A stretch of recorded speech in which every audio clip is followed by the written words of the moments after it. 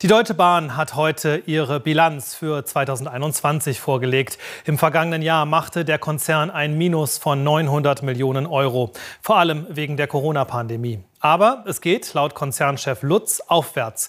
Der Umsatz ist gestiegen und könnte 2022 auf einen Rekordwert klettern. Anfang Februar erst hat die Deutsche Bahn stolz ihr neuestes Fahrzeug der ICE-Flotte vorgestellt, sich als zukunftsorientiert präsentiert.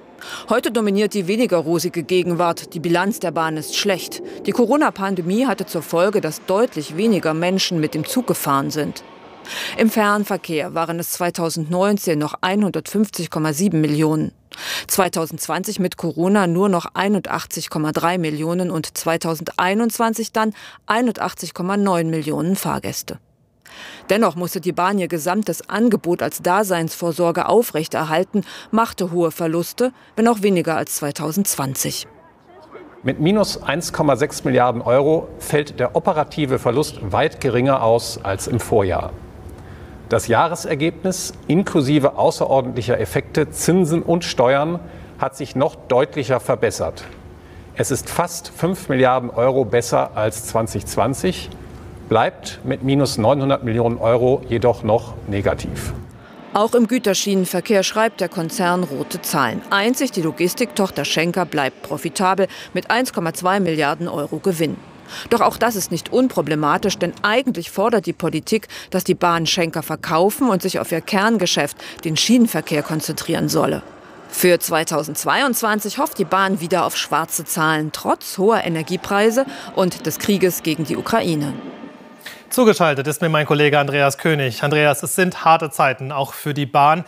Während der Corona-Pandemie sind wenige Leute, wir haben es gerade gesehen, in die Züge gestiegen. Da gab es 2020 einen Rekordverlust von fast 5 Milliarden Euro. Wie fällt die neue Bilanz jetzt aus für 2021?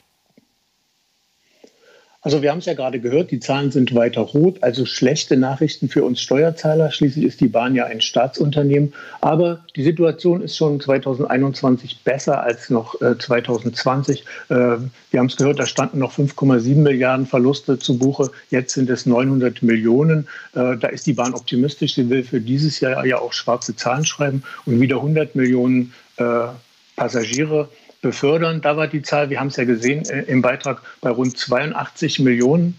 Ähm, aber die Bahn sagt, 2020 war, war noch, erst noch deutlich schlechter, wenn man nur die Corona-Monate vergleicht. Da sei 2021 die Passagierzahlen schon wieder um 30 äh, Prozent gestiegen.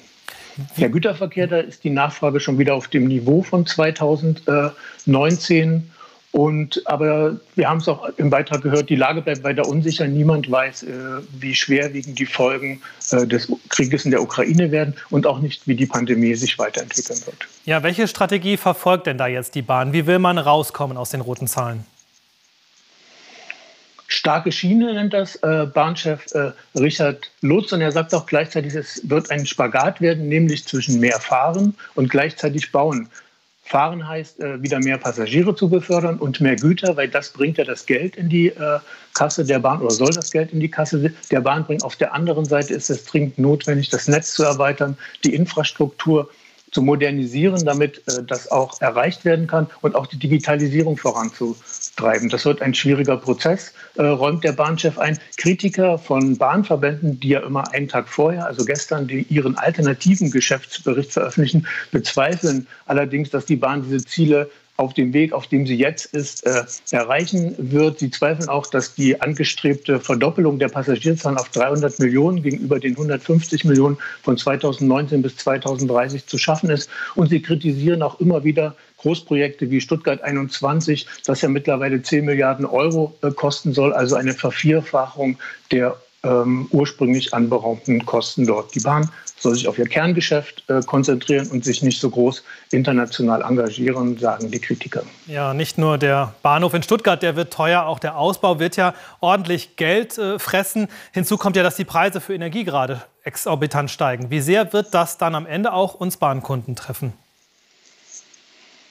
Da hat der Bahnchef äh, gesagt, dass man sich hier ganz gut abgesichert habe mit langfristigen Verträgen, was die Energielieferungen angeht. Da sei man für dieses Jahr halbwegs abgesichert. Auch sagte er, ähm, produziere oder die Bahn oder nutze die Bahn ja schon zu zwei Dritteln Strom aus erneuerbaren Energien. Hier sei man also nicht so vom Geschehen auf dem ähm, Weltmarkt äh, für Öl und Gas abhängig. Für dieses Jahr sagt er, wird die Bahn ganz gut zurechtkommen. Hier seien aktuell keine äh, Erhöhungen geplant. Man habe ja schließlich im Dezember um zwei Prozent äh, die Preise erst erhöht.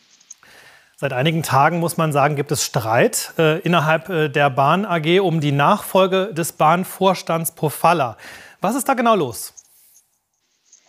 Also dazu war heute nicht so viel zu hören vom, vom Bahnchef. Er hat Ronald Pofalla gedankt, der ja im März jetzt angekündigt hat, seinen Posten als Infrastrukturvorstand äh, aufzugeben, aus persönlichen Gründen. Das wurde auch nicht weiter äh, kommentiert. Ähm, auch die Nachfolge stehe noch nicht fest. Äh, da müssen Aufsichtsrat und, und, und Vorstand äh, entscheiden. Es kursiert der Name von Bertolt Huber, der ist äh, im Moment für den Personenverkehr zuständig äh, bei der Bahn. Der ist auch ein Favorit der Bahngewerkschaft. Äh, die hat äh, mitgeteilt, dass sie sich lieber so eine interne Lösung wünschen würde als eine politische.